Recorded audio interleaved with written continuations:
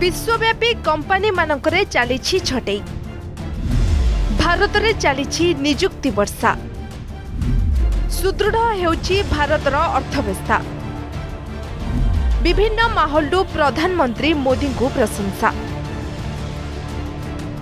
ଆମେରିକାରେ ଚାଲିଛି ଛଟେଇ ଲକ୍ଷ ଲକ୍ଷ କର୍ମଚାରୀଙ୍କୁ କମ୍ପାନୀଗୁଡ଼ିକରୁ କଢ଼ାଯାଉଛି କିନ୍ତୁ ଭାରତରେ ଚାଲିଛି ନିଯୁକ୍ତି ବର୍ଷା ଭାରତରେ କର୍ମଚାରୀମାନଙ୍କ ନିଯୁକ୍ତି ବଢ଼ିବାରେ ଲାଗିଛି ଦେଶର ସର୍ବବୃହତ୍ ବ୍ୟାଙ୍କ ଏଚ୍ଡିଏଫ୍ସି ଦୁଇ ହଜାର ବାଇଶ ସେପ୍ଟେମ୍ବରରୁ ଡିସେମ୍ବର ଭିତରେ ପାଞ୍ଚ ହଜାର ଆଠଶହ ତେଷଠି ଏବଂ ବନ୍ଧନ ବ୍ୟାଙ୍କ ଦୁଇ ହଜାର ଛତିଶ ଆଇସିଆଇସିଆଇ ବ୍ୟାଙ୍କ ଏଗାର ହଜାର ଦୁଇଶହ କର୍ମଚାରୀଙ୍କୁ ନିଯୁକ୍ତି ଦେଇଛି। ଏନେଇ ବ୍ୟାଙ୍କିଂ ଏକ୍ସପର୍ଟ ନରେଶ ମାଲହୋତ୍ରା କହିଛନ୍ତି ଏବେ ଭାରତର ଉଚ୍ଚ ଅଭିବୃଦ୍ଧି ଘଟିଛି। ତେବେ ଆମେରିକାରେ ଦୁଇ ହଜାର ବାଇଶ ନଭେମ୍ବରରୁ ପ୍ରାୟ ଦୁଇ ଲକ୍ଷ ଆଇଟି କର୍ମଚାରୀଙ୍କ ନିଯୁକ୍ତି ଚାଲିଯାଇଛି। ଯେଉଁଥିରେ ତିରିଶରୁ ଚାଳିଶ ପ୍ରତିଶତ ହେଉଛନ୍ତି ଭାରତୀୟ।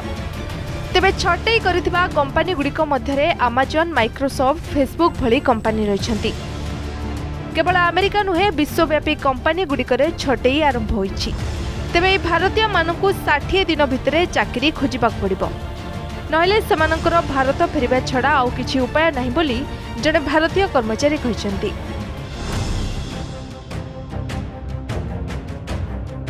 ଏ ଭିତରେ ଭାରତର ଅର୍ଥବ୍ୟବସ୍ଥା ସୁଦୃଢ଼ ଥିବା ନେଇ ପ୍ରଧାନମନ୍ତ୍ରୀ ମୋଦିଙ୍କୁ ବିଭିନ୍ନ ମହଲରୁ ପ୍ରଶଂସା କରାଯାଇଛି।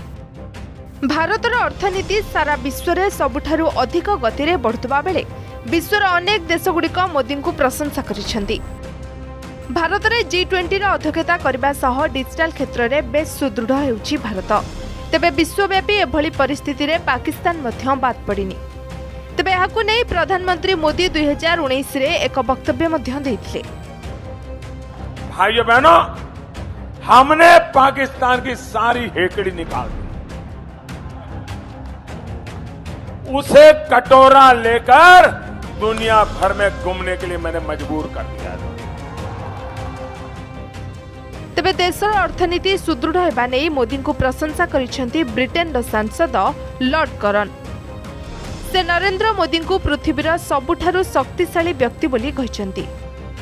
ଭାରତୀୟ ବଂଶୋଭବ ବ୍ରିଟେନର ସାଂସଦ ଲର୍ଡ କରନ୍ ବିଲିମୋରିଆ ବ୍ରିଟିଶ ସଂସଦରେ ନିଜର ଉଦ୍ବୋଧନରେ ପ୍ରଧାନମନ୍ତ୍ରୀ ମୋଦିଙ୍କ ପ୍ରଶଂସା କରିବା ସହ ତାଙ୍କ ନେତୃତ୍ୱରେ ଭାରତ କିଭଳି ଭାବେ କ୍ଷିପ୍ର ଗତିରେ ପ୍ରଗତିର ଶୀର୍ଷରେ ପହଞ୍ଚୁଛି ତାର ଉଲ୍ଲେଖ କରିଛନ୍ତି। ଆଗକୁ ଭାରତର ଅର୍ଥନୀତି ଆହୁରି ସୁଦୃଢ଼ ହେବା ନେଇ ଅର୍ଥନୀତିଜ୍ଞମାନେ ମତ ଦେଇଛନ୍ତି। Bureau report Argus news.